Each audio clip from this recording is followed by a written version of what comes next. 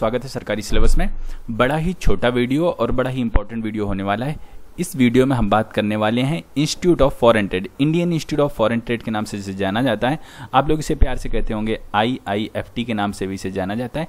तो इसकी जो है एक आई बी इंटरनेशनल बिज़नेस के में अगर आप एमबीए करना चाहते हो तो इसके लिए ये सारे की सारी मूलभूत जो बातें हैं, वो मैं इसमें बताना चाहता हूँ।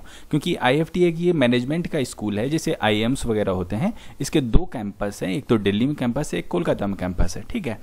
और ये जो है ना एमबीए के कोर्स कराता है। ये पीएचडी वगैरह भी कराता है, लेकिन उसके बारे में हम यहाँ पर बात नहीं करेंगे। हम सिर्फ़ बात करने वाले जो एमबीए के जो मैनेजमेंट के कोर्स कराता है, उसमें एक इनका प्रमुख है कि इंटरनेशनल बिज़नेस क्योंकि आईएफटी का नाम ही जो है ना इंटरनेशनल टाइप का है। तो इसमें जो अंतर्राष्ट्रीय बिज़नेस व्यापार होता क्योंकि अब जो है ना ज़माना मॉडर्न हो गया है, हालाँकि पुराने ज़माने में भी अंतर्देशीय व्यापार हुआ करते थे तो आज के ज़माने में तो बहुत ज़्यादा बढ़ गया। अगर एक किसी एक देश की इकोनॉमी डाउन जाती है तो दूसरे देश पर भी उसकी जो है ना हलचल मच जाती है। तो जो है ना इसकी बहुत ज़्यादा आज के ज़माने में इसकी मांग है, और फ्यूचर में इसकी मांग बढ़ती रहने वाली है। तो जो बच्चे मैनेजमेंट के क्षेत्र में इच्छुक हैं, उनके लिए बेहतरीन अपॉर्चुनिटी हो सकती है एमबीए इन इंटरनेशनल बिज़नेस अब देखिए, ये हमने जो है ना इसकी, क्या कहते हैं, हिंदी में प्रस्तावना जो होती है ना, वो हमने आपको बताई। इसमें जो है ना, एक दिल्ली कैंपस है, एक कोलकाता कैंपस है। इसमें हर साल करीब करीब दो सौ पचासी पिछले साल लिए गए थे बच्चे। तो ये समझिए, बच्चों, आप दो सौ पचासी मान के चलो तो ढाई और मान लो या फिर कितने करो तो करीब करीब वही साढ़े के आसपास। बच्चों की हर साल जो है ना इसमें वैकेंसी आती है, बच्चे इसमें जाते हैं और अपना एमबीए का प्रोग्राम करते हैं। ये मैं जो है ना परमानेंट रेगुलर प्रोग्राम के बारे में बता रहा हूँ, ठीक है? तो साढ़े पाँच सौ ऑल ओवर इंडिया कंपटीशन आपका एक अच्छा खासा होने वाला है। जैसे कि कैट के थ्रू होता है आपके एम बी में एडमिशन्स के लिए। तो उससे थोड़ा सा कम, लेकिन अच्छा एक कंपटीशन आपको मिलने वाला है, ठीक है? तो ये बात इसकी हो गई। तो दो साल का आपका प्रोग्राम होता है फुल टाइम का आपका प्रोग्राम इसमें होता है। अब देखिए एलिजिबिलिटी क्या है? मैं सिर्फ़ यहाँ पर जो अपने इंडियन कैंडिडेट है, उनके बारे में बात करूँगा, क्योंकि जो है ना, मेरी लैंग्वेज हिंदी है और अंग्रेज़ों की भाषा समझ में नहीं आएगी। तो जो है ना, हम इंडियन जो कैंडिडेट है, उनके लिए बात करने वाले हैं। तो तो अब हम इसमें देखने वाले एलिजिबिलिटी आपकी क्या है? आपकी एलिजिबिलिटी होनी चाहिए तीन साल का, आपके पास कोई भी आपके पास बैचलर डिग्री होनी चाहिए, ठीक है? तो तीन साल की आपके पास बैचलर डिग्री तो आप इसमें फॉर्म भर सकते हो। और इसमें एक सबसे बड़ी बात बताऊँ कि कोई एज लिमिट इसमें नहीं है। तो आपकी कितनी भी उम्र क्यों ना हो, आप इसमें फॉर्म भर सकते हो, ठीक है? ये सबसे इंपॉर्टेंट चीज़ हो गई। इसके बाद जो बात आती है, आप जो है ना, अगर आप रिज़र्व कैटेगरी वगैरह को तो आपको जो है ना, थोड़ी सी फॉर्म फ़ीस वगैरह में छूट मिलती बाकी किसी अन्य छीट में, अन्य चीज़ में इसमें कोई छूट आपको नहीं मिलने वाली है। फिर इसके बाद हम बात कर लेते हैं, आपका सिलेक्शन प्रोसीजर किस तरह का होता है। तो देखिए सिलेक्शन प्रोसीजर की बात करें तो सबसे पहले इसका होता है एक रिटर्न एग्ज़ाम क्या होता है? सबसे पहले एक रिटर्न एग्ज़ाम इसका होता है। सबसे पहले आपका एक रिटर्न एग्ज़ाम होगा। रिटर्न एग्ज़ाम में जब आप सेलेक्ट हो जाएँगे, ये लोग एक मेरिट बना देंगे, तब आपका एक जीडी होगा और फिर इसके बाद आपका एक इंटरव्यू होगा। तो ये आपका सिलेक्शन प्रोसीजर रहने वाला है।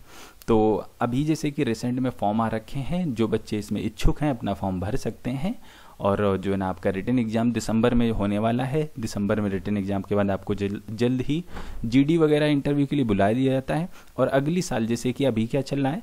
अभी चल रहा है सेप्टेम्बर ठीक है? सितंबर चल रहा है, आपके फॉर्म आ गए सितंबर में। आपका दिसंबर में एग्ज़ाम होगा इसी साल और अगली साल जुलाई से आपका सेशन शुरू हो जाएगा। ये 2020 के सेशन के लिए अभी फॉर्म आ रखे हैं। आप चाहें तो जाके इसमें फॉर्म भर सकते हैं।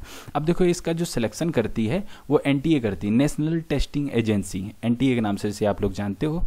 मैं यहाँ पर लिख देता हूँ एन जितने भी भारत में बड़े एग्ज़ाम होते हैं, जैसे यूजीसी नेट वगैरह हो गए आईआईटी वगैरह हो गए तो इनमें जो भी बच्चों का सिलेक्शन होता है, वो एनटीए करती है। ये एक एजेंसी है जो एग्ज़ाम कंडक्ट वगैरह कराती है, ठीक है? और आपके जो रिटर्न एग्ज़ाम है, वो ऑल ओवर इंडिया होंगे, आप यहाँ से देख सकते हो। Written test organise in Ahmedabad Allahabad तो मतलब भारत की कोई ही, शायद कोई लखनऊ, मुंबई, नागपुर कोई भी जो एक अच्छी सिटी है, सब इसमें सम्मिलित हो जाती हैं। जो आपके जीडी वगैरह हैं, वो कहाँ होंगे? आपके जो है ना मिडिल ऑफ़ फरवरी में, क्योंकि दिसंबर में रिटर्न एग्ज़ाम होगा और लास्ट दिसंबर तक आपका रिज़ल्ट आएगा। तो जनवरी फरवरी के आसपास जो है ना fourth week of January and middle of February, आपके बेंगलोर में, चेन्नई में, दिल्ली में, हैदराबाद में, कोलकाता में, लखनऊ में, मुंबई में, इतनी जगहों पर आपके इंटरव्यू और जीडी कंडक्ट कराए जाएँगे। ठीक है? तो ये चीज़ हो गई। अब ये फॉरेनर्स के लिए तो हम यहाँ पर इसकी बात नहीं करेंगे, हम थोड़ा सा आगे बढ़ाते हैं। देखिए, आपकी जो फ़ीस लगती है, ठीक है, पर एन की आपकी कितनी फ़ीस लगने वाली? जनरल और ओबीसी के कैंडिडेट को सात लाख साठ हज़ार रुपये पर एन की फ़ीस यहाँ पर है, ठीक है? और जो S C S T physically हैंडिव category के उन्हें साढ़े तीन लाख रुपये पर एनएम की फ़ीस है यहाँ पर। फॉरेन नेशनल की यहाँ पर हम बात नहीं करेंगे, ठीक है? ये बात हटा दी। तो यहाँ से हमने फ़ीस की बात कर ली। देखिए, मैं आपको बता दूँ कि कई सारे बच्चे हो सकते हैं जिनके पास इतनी फ़ीस नहीं है, साढ़े सात लाख रुपए फ़ीस पे नहीं कर सकते हैं। तो अगर आप एक बार सिलेक्ट हो जाते हैं, इसका एग्ज़ाम जीडी ये सब कुछ निकाल लेते हैं तो कई सारे जो है ना ऐसी संस्थाएँ हैं, जो आपको पैसे देने के लिए हमेशा तैयार रहती हैं, आपको उसके लिए जो है ना, कोई शंका अपने दिमाग में नहीं रखनी है कि इतनी ज़्यादा फ़ीस है, हम पे कैसे करेंगे, ठीक है? तो इसकी कोई बात नहीं, अगर आप एग्ज़ाम निकाल लेते हैं तो सैकड़ों, हज़ारों संस्थाएँ ऐसी जो आपको तुरंत पैसा, आपको ये सारी चीज़ें मुहैया हो जाएँगी। फिर आपको करीब करीब इतनी ही आपको स्कॉलरशिप भी वहाँ से मिल जाती है, जो बड़े इंस्टीट्यूट होते हैं, आपको स्कॉलरशिप भी प्रोवाइड कराते हैं। तो कुछ ज़्यादा आपका इसमें नहीं लगने वाला है, ठीक है? अब देखिए इंपॉर्टेंट डेट्स के बारे में आपको बता दूँ, ये जो है ना, अब ये पहले जुलाई में फॉर्म आ जाते इस बार इन्होंने लेट निकाला है तो मैं आपको यहाँ से बताता हूँ सेप्टेम्बर में आपके आएँगे फॉर्म ठीक है? दिसंबर में आपका होगा रिटर्न एग्ज़ाम ठीक है?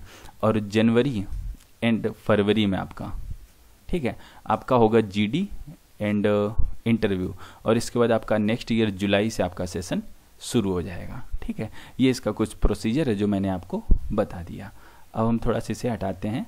अब आपका जो ना पैटर्न ऑफ़ एडमिशन मतलब एग्ज़ाम पैटर्न के बारे में थोड़ा सा आपको बता देते हैं। इसमें आपका जो रिटर्न एग्ज़ाम होगा, वो कैट के ही सिलेबस होता है करीब करीब जो कैट का सिलेबस होता है, वही आपका इसमें भी सिलेबस होता है। आप यहाँ से देख सकते हैं क्या क्या आता है।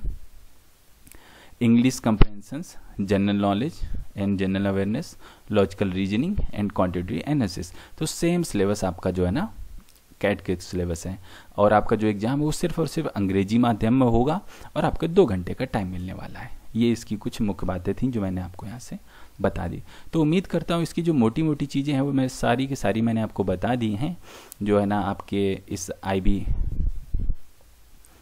अगर आप आई में करना चाहते हो एम तो आपके लिए सारी मोटी बातें मैंने बता दी आईआईएफटी के लिए, जो भी चाहिए ज़रूरी हो सकती थी। तो अगर आप इस वर्ष ही करने के इच्छुक हो तो आप फॉर्म डाल सकते हो। इसके लिए मैंने सेपरेट वीडियो बना चुका हूँ और इसका डिटेल सिलेबस देखने के लिए आप जा सकते हो सरकारी सिलेबस डॉट कॉम पर। वहाँ पर आपको डिटेल सिलेबस मिल जाएगा। तो इस वीडियो में बस इतना रखना चाहेंगे। कुछ और अगर जानना पूछना चाहते हो you can comment below the video हम आपसे मिलते हैं अगले वीडियो में। तब तक के लिए वंदे मातरम।